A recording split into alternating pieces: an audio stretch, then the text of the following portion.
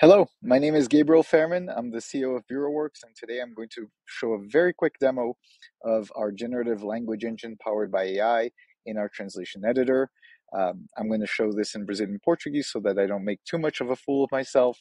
Let's see what happens here when I click on this segment. It's um, learning from the machine translation in blue, from the translation memory in green, and I can also teach it so that, for instance, let's say, let's add this term to the glossary, and let's say that we would like this to actually be preços, which is different than what's in the machine translation and the translation memory. It's picking up that the part of speech is a noun via AI. I just added this term now to the glossary. Now we, we're saying that pricing is preços. Notice that it's different from both the machine translation and the uh, TM. Let's ask AI to translate it and apply the translation. Now it's translating according to the glossary in runtime. Let's go to the next segment over here, for instance. Same thing, it's picking up uh, a difference in the glossary compared to the 101% match, and it's suggesting that. I'm going to go ahead and confirm that. Notice that it's also uh, running what we call translation smells. That's a semantic verifier within BureauWorks. Now let's change this, for instance, uh, over here. This is a glossary term. Let's change to log in to logar.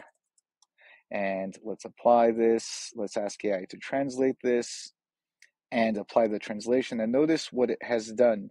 It has uh, meshed together the fact that we taught it that login was logar, but it's also learning from the TM matches that say that should should add no sistema, which would literally back translate in the system, and it's suggesting logar no sistema. So it's not just add, adding the term; it's actually inferring based on the context that it should try to follow what's in the translation memory.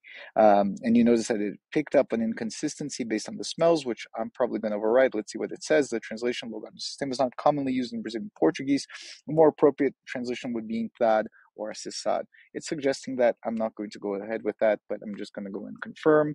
I can also go in back into the segment as well and ask AI for uh, an independent opinion and it's saying that it should be translated in a different way called entrar no sistema. It's explaining that the Portuguese translation of login is entrar rather than logar.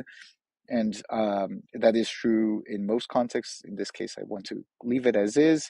And as I go on through the translation process, that's exactly what it's going to continue to do. In this case, for instance, same thing. Um, let's say the machine translation is translating gets started as começar. Uh, the translation memory saying Inicie agora, the glossary is using Inicie. Let's say, for instance, the glossary changed and it's saying now uh, começar. Let's save this term now and apply. Now, when we ask AI to translate, it's and let's apply this translation. It's using, it's following the glossary. It's also trying to follow the TM and the MT, all with different weights that are dynamically adjusted, and it's proposing this feed that makes sense to me.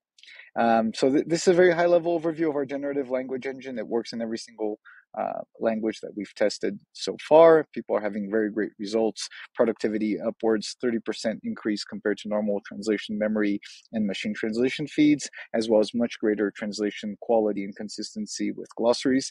We look forward to having you trying it out for th- 14 days for free and seeing how it works for you in practice. Thank you.